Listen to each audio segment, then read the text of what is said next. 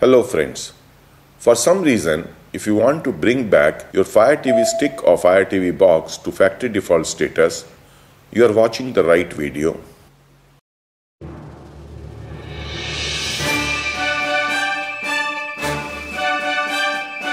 We are on Fire TV homepage.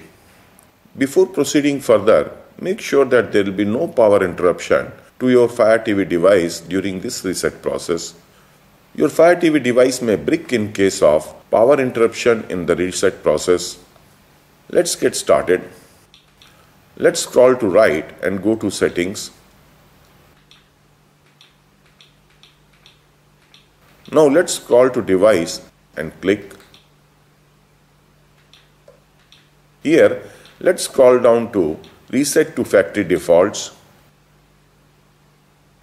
Let's click it.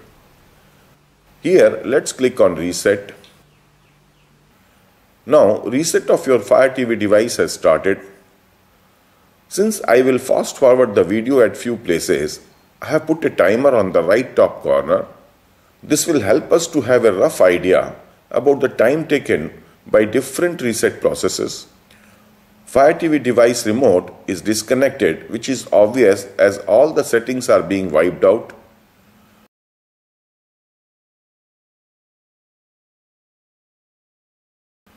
Now Fire TV device is rebooting.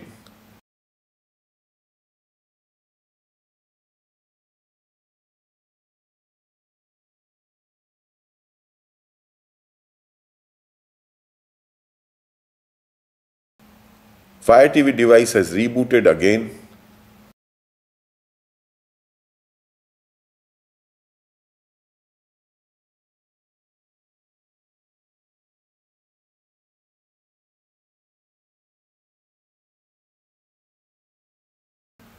Optimization of system storage and applications has started.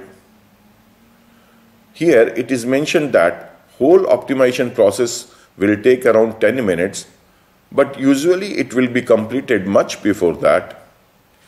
In case you want to give your Fire TV device to someone else and don't want to share your login details and other info, it is better to reset your device to factory default settings, which is safe and easy. If you have installed a number of apps on your Fire TV device and the storage is full, to recover the storage, you have to uninstall apps individually.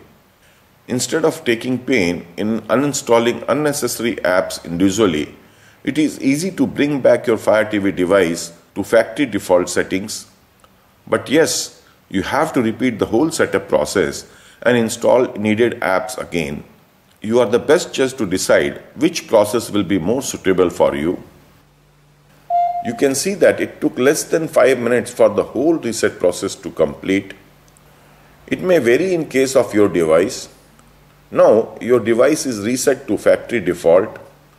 You can pair your remote with Fire TV device and repeat the whole setup process.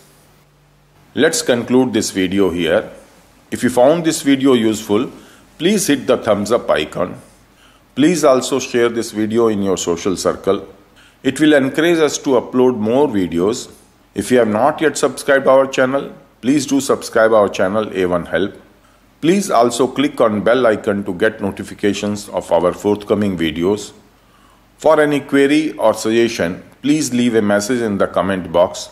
Let's meet again in next video. Thanks for watching till end.